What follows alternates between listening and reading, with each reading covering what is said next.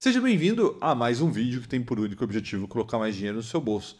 E no vídeo de hoje teremos o episódio número 103 da série 1 milhão com mil, que como você já sabe, te mostra como na prática você pode construir o seu patrimônio através do mercado financeiro. No dia 8 de janeiro de 2020, essa série começava com o um único intuito de provar que, com disciplina, conhecimento e visão de longo prazo, você pode fazer o que quiser da sua vida, inclusive ser um milionário investindo mil reais quinzenais. E no episódio de hoje, nós vamos vender um ativo da carteira, coisa que fazia muito tempo que eu não fazia, e vamos adicionar um novo ativo na carteira no lugar desse que saiu. Tá bom? É sempre importante lembrar que nada do que eu falo aqui é uma recomendação, é apenas para te inspirar a investir melhor. E agora vamos dar uma olhada na nossa planilha de acompanhamento. Bom, pessoal, a planilha está na tela. Primeiro recado importante é que se você quer usar essa planilha nos seus investimentos, aqui na descrição desse vídeo tem um link para você ativar a sua conta gratuita no Cashflix, que é a nossa escola de educação financeira, e dessa maneira você vai ter acesso não só a essa planilha, mas muitas outras, tá? Veja aqui que estamos levemente desbalanceados aqui em ações de dividendos, estão com uma distribuição de 25,26%, contra aí uma distribuição que nós gostaríamos de 20%. Como excedeu os 24%, a planilha ficou vermelha. E isso aconteceu por conta de uma reclassificação nas ações aqui. Eu acabei passando Sanepar SAPRE 11 para ação de dividendo, ela estava em ações de valorização, e a B3SA3, que estava em dividendo, foi para ação de valorização. Então, basicamente, eu troquei as duas de lugar, eh, porque eu entendo que dessa maneira elas estão melhores classificadas isso deu uma desbalanceadinha na carteira que mais nos próximos episódios a gente vai balancear. Tá bom, o mercado ele está um pouco de mau humor nesse momento, saíram dados aí de inflação, de emprego nos Estados Unidos que aumentaram a aversão ao risco, né? ou seja, basicamente o pessoal está querendo investir mais em renda fixa, tanto nos Estados Unidos quanto no Brasil, nesse momento de incerteza, mas isso só gera mais oportunidades para a gente. É isso que a gente vai aproveitar aqui hoje. Não nessa parte de ações, como vocês podem ver, a gente está bem alocado, mas principalmente na parte de fundos imobiliários. Né? Hoje vamos vender um FI de papel, vamos colocar um outro lugar, mas eu gostaria de falar nesse momento aqui sobre as opções. Né? Veja que a gente vem manobrando elas para que a gente consiga resolver essa questão que vem, vamos dizer assim, assombrando um milhão com mil já faz alguns episódios, mas a gente vem conseguindo resolver. Tá? Então vai levar mais um pouquinho de tempo, mas daqui a pouco isso vai estar resolvido. Outra coisa importante a gente falar é que já investimos 104 mil reais na série 1 milhão com mil e nesse momento a barra do milhão está em 13,5%. Falando agora de rentabilidade, veja que a nossa carteira está com 48,3% contra um CDI de 37,9% e o Ibovespa de 8,5%. Então veja que a nossa carteira já colocou mais de 40 pontos percentuais em cima do Ibovespa, mostrando que sim, faz todo sentido você investir em renda variável aqui no Brasil, além do que lembrar que grande parte desse período do milhão com aí, que já passamos de quatro anos, foi com juros altíssimos, né? mostrando que a gente tem sim total condição de ganhar do mercado e fazer um bom rendimento em cima disso.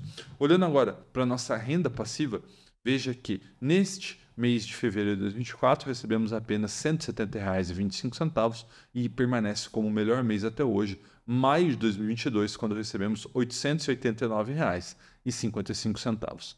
Desde que essa série começou, temos de renda passiva acumulada R$ 13.994,57, que é o equivalente a praticamente 14 aportes. E a gente vai chegar ao longo dessa série a 50 aportes, a 100 aportes, a quem sabe até mais de 200 mil reais de renda passiva recebida. E agora a gente vai para a XP fazer a parte prática do episódio de hoje, mas é sempre importante lembrar que nada do que eu falo aqui é uma recomendação, é apenas para te inspirar a investir melhor, tá bom? Então vamos lá fazer a parte prática do episódio de hoje. Bom, pessoal, chegamos então na XP, fazer a parte prática do episódio de hoje.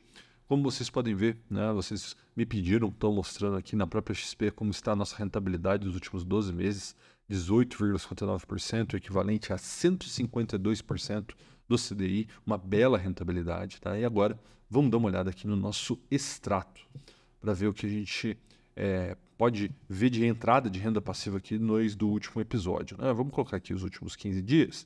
Veja que tem aqui o aporte do dia de hoje, recebimentos de vários fundos imobiliários também na data de hoje. E ontem também teve alguma coisa E agora a gente tem aqui para fazer a alocação no dia de hoje R$ 1.189,45. Isso que nós vamos fazer a partir de agora. Né? Vamos abrir aqui o Home Broke, ele vai carregar e a gente vai começar fazendo uma venda. Né? Rafael, por que, que você vai vender? O Becri, né, no caso. Nós temos 12 unidades. E eu não vou justificar agora. É, vamos fazer agora a parte prática e daqui a pouco a gente fala sobre os motivos que me levaram a fazer essa venda. É, veja aqui que eu tenho que colocar minha senha, deixa eu salvar. Então temos 12 unidades, vamos vender as 12 por R$ 74,75, ó, confirmar de venda do Becri, sim. Perfeito, ó, venda efetivada. Agora, nós vamos com esse dinheiro comprar 12 unidades, né, o mesmo número de unidades do VGIP. E aí, quando a gente voltar para o computador, eu explico por que, que eu vendi 12 unidades do Becri e comprei 12 do VGIP. Então, ó, compra, beleza, ó, executado, perfeito. Vou também aproveitar comprar uma unidade do HGLG. Sempre estou comprando aqui uma unidade, a gente aumenta aqui um pouquinho, beleza. E depois dessas três movimentações aqui nos fundos imobiliários, veja que a gente vai ter aqui mais ou menos uns 900 reais disponível. Quer ver? 917. O que nós vamos fazer? Nós vamos vir aqui e alocar, não esse valor, um valor menor, vamos alocar aqui uns 700 reais na nossa é, carteira, na parte de liquidez, né, no nosso fundo de renda fixa para liquidez. Então a gente vem aqui em carteira, ó, indo, eu lento aqui, mas está avançando, e aqui ó, a gente tem fundo de investimento, já temos 22.860. O que, nós vamos fazer? Nós vamos investir mais 700 reais, tá? Então eu coloquei aqui investir 700 reais, confirmar, confirmar, estou ciente da política de risco, vou colocar a minha senha, vai rachurar aí para você na tela. E ótimo, com isso nós concluímos aqui a parte prática do episódio de hoje. Então vamos voltar no computador para falar sobre a venda do Becri e a compra do VGIP.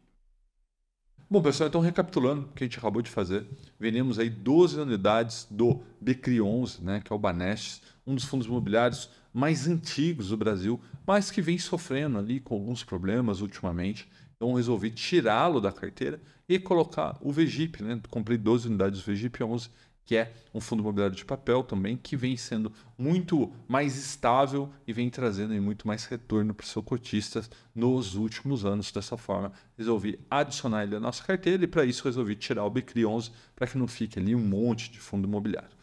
Também resolvi comprar mais uma unidade do HGLG11 e o restante a gente mandou para o Trade DI, onde está a nossa reserva de oportunidade, para que a gente vá recompondo-a nesse momento e a gente ainda tem bastante é, falta de caixa, né? Como você viu ali, nossa parte da planilha de caixa de reserva de liquidez está abaixo que nós gostaríamos, graças às opções que vieram contra ali em novembro dezembro, mas a gente já está resolvendo isso, tá bom?